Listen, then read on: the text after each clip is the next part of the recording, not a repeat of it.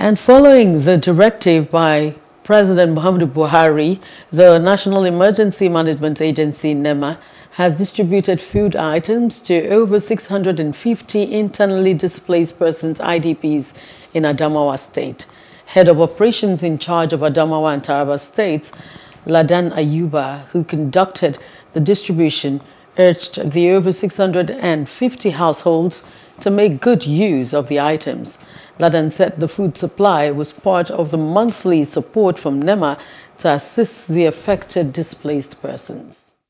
Approval has been given by the President and the DG, I represent the DG came to flag off the distribution of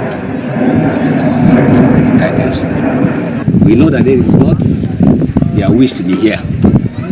They are here by circumstances. But then, you should also know that this food, because apart from this food, I don't think there's any other agency that is still giving them this opportunity. So federal government is goodwill. I would appreciate if what is given to them, they are able to use it, eat. They should use it to take care of themselves, take care of the children.